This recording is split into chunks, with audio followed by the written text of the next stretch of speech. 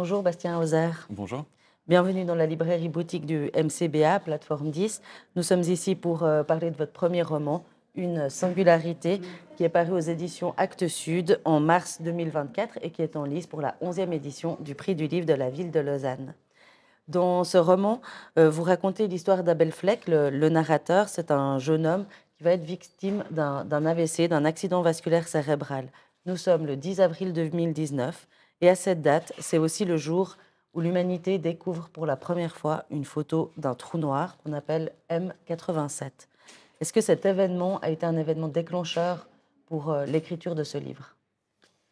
Euh, Ça a évidemment été un élément qui a, participé à, l'envie d'écrire ce livre. Ça n'a pas commencé euh, au, moment où j'ai découvert cette, photo-là, comme tout le monde en, en, 2019, mais plus tard, quand je suis tombé sur une lecture, euh, sur un livre euh, euh, qui s'appelle Lumière aveugle de Benjamin Labatou et dans lequel il, reprend et fictionnalise des personnages de scientifiques du XXe siècle, dont Karl Schwarzschild qui a, qui a conceptualisé l'idée d'un trou noir mathématiquement. Et, dans ce passage-là, quand il écrit ce personnage et cette découverte-là, il, il, fait planer sur lui une, ombre et une espèce de maladie presque, euh, quelque chose de très, euh, très personnifié du trou noir euh, à un niveau individuel. Et donc, c'est cette, idée-là, en fait, plutôt qui a été le, point de départ de, ce texte et qui est ensuite venu s'accoler, en fait, à, à, l'image, à la photographie du, 10 avril. Et donc, notre, notre héros, Abel Fleck, va apprendre euh, un peu par hasard cette, coïncidence de date entre, entre ben, ce, dévoilement de la, photo et son, AVC. Qu'est-ce que ça va déclencher chez Abel Fleck? Ça va déclencher une espèce de, de, recherche un peu euh, frénétique d'informations, une, une, envie de, connaissance, de réponse. Euh, il, interprète ça, cette coïncidence de date, comme, comme une coïncidence complètement impossible, comme quelque chose qui n'aurait pas dû exister. Euh, et qu'il doit euh, essayer d'expliquer euh, par ses propres moyens. Donc ça le lance dans une espèce de quête à la fois scientifique, à la fois un peu paranoïaque, qui l'isole de plus en plus et qui va essayer de, trouver une réponse à, cette question de comment expliquer cette coïncidence-là. Effectivement, au, fil des pages, le, trou noir va être de plus en plus présent dans, la vie d'Abel.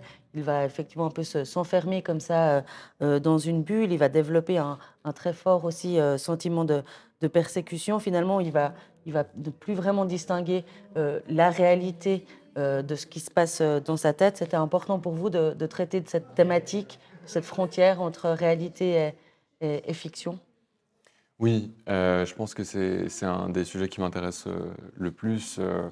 C'est très large comme sujet, mais c'est quelque chose que je trouve euh, super intéressant à, exploiter. Comment est-ce euh, comment est-ce qu'on écrit euh, notre, notre réalité, comment est-ce qu'on la raconte déjà dans un premier temps, et ensuite comment est-ce qu'on parle et comment est-ce qu'on écrit nos imaginaires, et comment est-ce qu'à coller ces deux choses-là, en fait on se rend compte que c'est très très similaire, que les deux sont, qu'il y a quelque chose de très fluide entre l'imaginaire et la réalité. Je pense que l'univers euh, très teinté d'Internet aussi, euh, dans lequel évolue le texte, et le personnage de Abel, euh, aide ça, infuse ça de, quelque chose où la réalité, les informations qui nous parviennent sont toujours médiatisées aussi, toujours quelque part imaginées. c'est très difficile de faire la distinction entre le factuel et l'imaginaire. Euh, donc euh, oui, non, je pense que c'est quelque chose qui est présent tout au long du texte et, dans la majorité de, mes textes d'une manière générale. Et est-ce que la, alors c'est effectivement un terme assez, assez, assez vaste, mais c'est vrai qu'on a un peu cette impression que l'extérieur commence à, voir Abel fou alors que lui, il ne se perçoit pas du tout euh, comme fou. Il y a une sorte de distance qui se fait entre lui et le monde.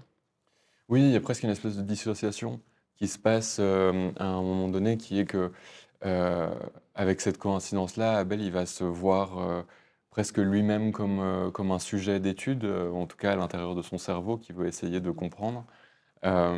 Et, et, donc il va à la fois essayer de comprendre comment il fonctionne et en même temps se mettre à distance du monde qui essaye de l'analyser lui, donc oui, il y a une espèce de, recul, de, de, distance plus grande entre lui et le monde soudainement, et, et, qui est nourri par une espèce de paranoïa et de peur que les gens essaient de, profiter de lui. Quelques mots sur le, titre, une singularité. Est-ce que vous pourriez nous, dire en quelques mots comment est, venu ce titre et aussi ce qu'il signifie, notamment dans le langage euh, astrophysique? Eh, C'est un titre qui est apparu euh, en discussion avec euh, mon éditrice et, et, qui, qui, est apparu assez naturellement parce qu'il veut dire plein de choses en même temps et sur le côté astrophysique, il, désigne vraiment cette, ce point de l'espace-temps à l'intérieur d'un trou noir, tout au centre, où, où l'espace-temps se recroqueville sur lui-même, euh, tellement que, les, théories physiques euh, euh, qu'on connaît ne s'appliquent plus et, que, et qu'il nous est en fait absolument impossible d'imaginer ou même de conceptualiser à quoi ça pourrait ressembler. et parallèlement à ça, ça, parle évidemment aussi de la singularité psychologique, de l'expérience que fait Abel, ce personnage qui s'isole de plus en plus et qui essaye de se réinventer sa propre réalité avec, ses, avec ses moyens à lui. Quoi.